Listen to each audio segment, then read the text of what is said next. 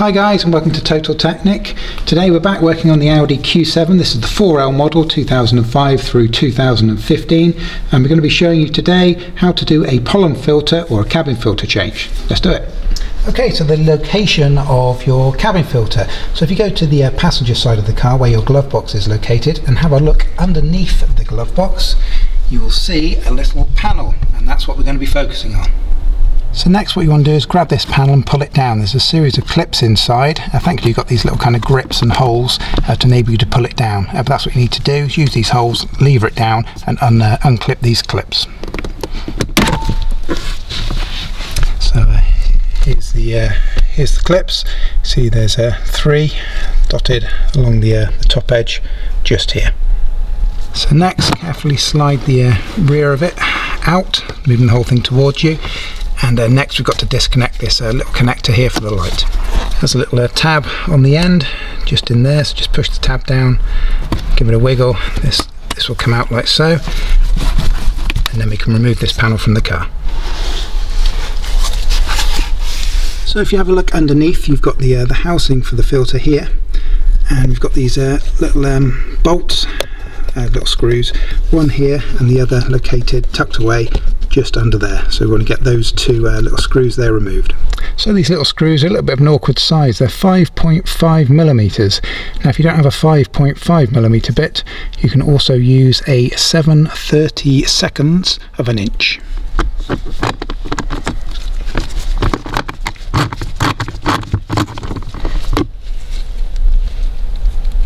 So now we can reach up and uh, remove this little panel.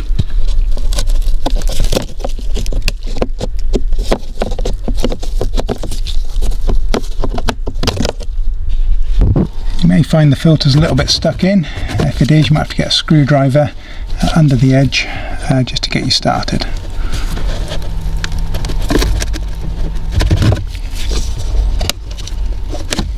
and what you'll find is the uh, the filter as it drops down will get stuck just on the edge of this uh, plastic panel here so what you'll have to do is kind of flex this plastic panel forward as you also manipulate the um, the cabin filter in the opposite direction. And uh, by doing the two you should be able to slide this down uh, out of the way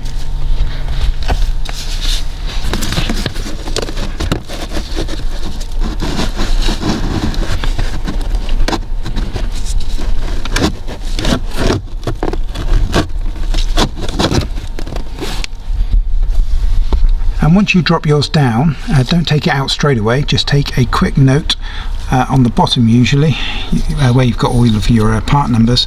Uh, you often have you probably won't be able to see it on the video uh, but you'll see on the new filter in a second.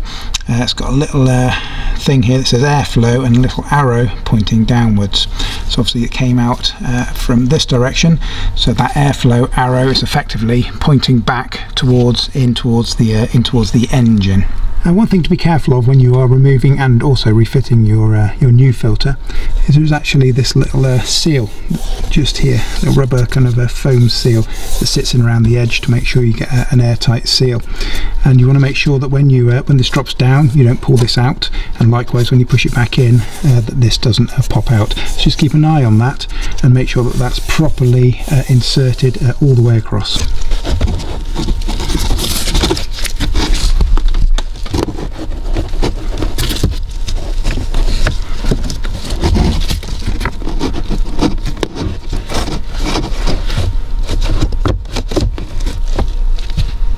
Once you've pushed it up what you can do is you can actually push in a little bit further and you can actually double check that seal that we just mentioned before so we're now ready to refit the cover. Before you do so, just make sure that the, uh, the foam here is all seated correctly to ensure that you get an airtight, seal once this is put back into uh, location.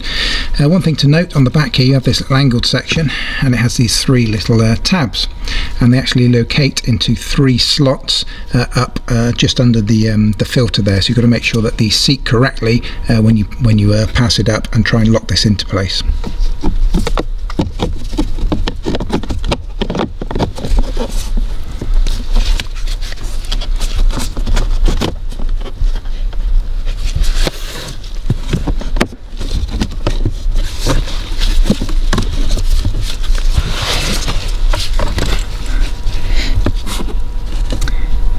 Holding your cover in place you need to uh, put your two screws back in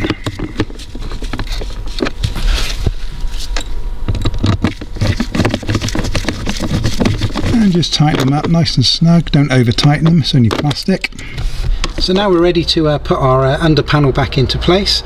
Uh, before we do so, it's worth having a quick look at it. And the things that you're trying to align at the back, because the back's kind of the, the harder the harder side to get in. And what you've got at the back here, you've got these two kind of plastic lugs. There's one right here and there's another just on the other side here. And those fit into two kind of square uh, sockets uh, up underneath the, uh, the dashboard there. So when you come to uh, align it these are what you uh, you need to align. And uh, obviously before we do that we need to get this reconnected before we can slot this back in. So if your electrical connection just pushes straight back in make sure it clicks. And as you go back in remember trying to locate these uh, these tabs into these square holes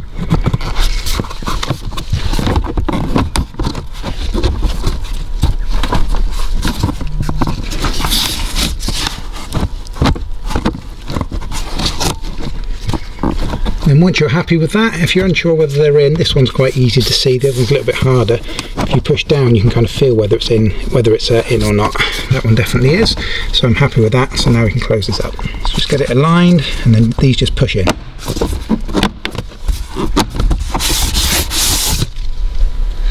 and that's how you change the cabin filter on your Audi Q7.